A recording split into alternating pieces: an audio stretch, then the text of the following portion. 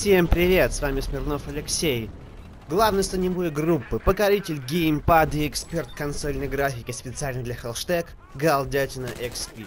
И сегодня мы поговорим о Battlefield 4 Hardline, о его бета-версии.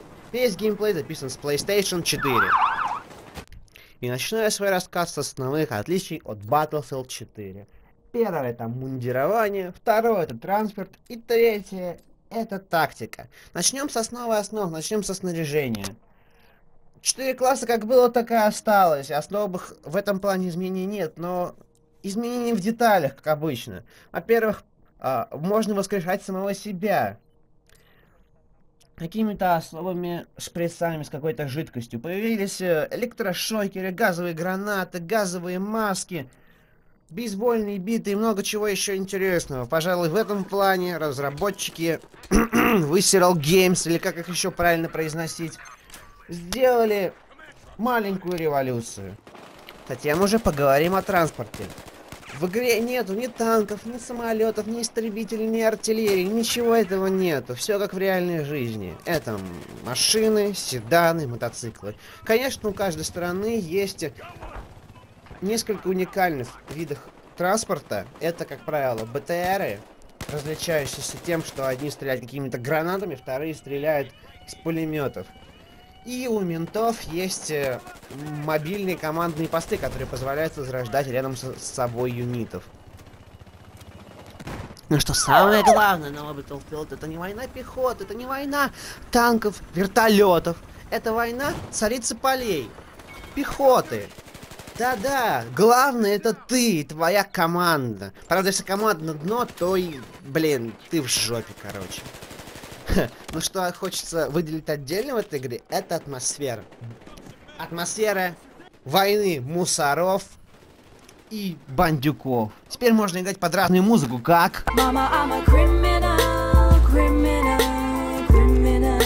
под какой-нибудь другой музон различной степени говняности. Самая главная проблема атмосферы, то что нету никаких нигеров. Мы не можем ставить нигерский рэп, типа Fuck the Police или что-нибудь еще.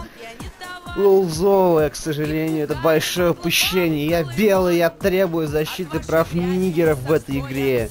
Почему тут нету нигеров? Можно было так много приколов ставить. А пока что только четкие пацаны и какие-то латиносы.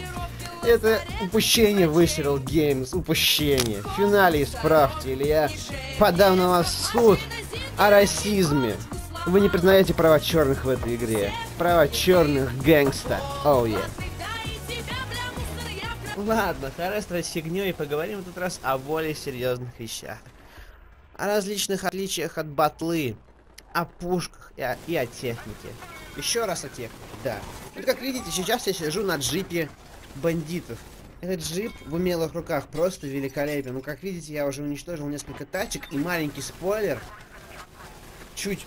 Если отмотать чуть вперед, то я там уничтожу машину, где сидят три чувака. Это трипл килл, это нечто, это такой кайф. Конечно, есть и баланс, от меня могут сейчас спокойно убить, а вот БТР мусоров, он, например, вообще довольно немощный. Да, его, конечно, нельзя расстрелять, как меня, но он слабенький. Конечно, но в умелых руках, конечно, это все сильно меняет результаты матча. Следующее важное отличие это пушки. Теперь они не отличаются по нескольким пунктам. Каждое оружие по-настоящему универсально и уникально, по крайней мере в бете. Рассмотрим это на примере двух э, стволов для штурмовика. Первый ствол это М16А4.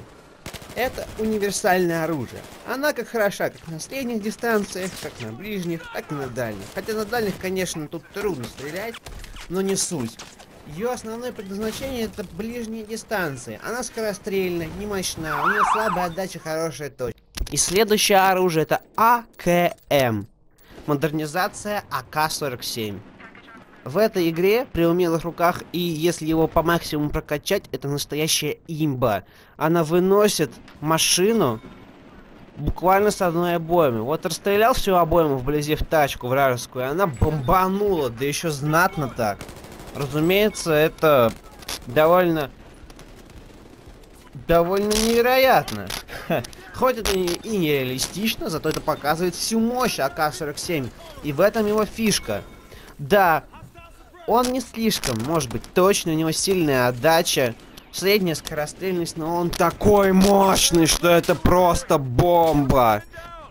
И следующее у нас это тактические бои. Я хочу рассказать о них, об уникальных ситуациях и прочем. Я не буду говорить о графике, звуке и музыке, потому что бета. Блин, в самом деле, это худшая графика на PlayStation 4. Я надеюсь, я все-таки подумаю своей головой хорошенько. И сделают так, чтобы это было видно, что это игра на Frostbite 3, а не, блин, на какой-то жопе. Типа IDTech 3. Потому что графика даже хуже, чем в Call of Duty Ghost. Итак, пора переходить к заключению. Что я могу сказать о Battlefield Hardline? Battlefield Hardline это действительно новый шаг в истории Battlefield. Она даже сильнее отличается, чем BF3 от BF4. Это действительно добротная игра, и надеюсь, что, что в конце концов вы Civil Games не подведут и состряпают нормальную игруху, в которой мы сможем долго рубиться.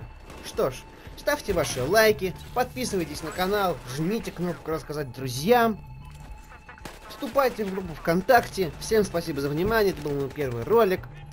Надеюсь, вам понравилось. Пока. И маленький бонус.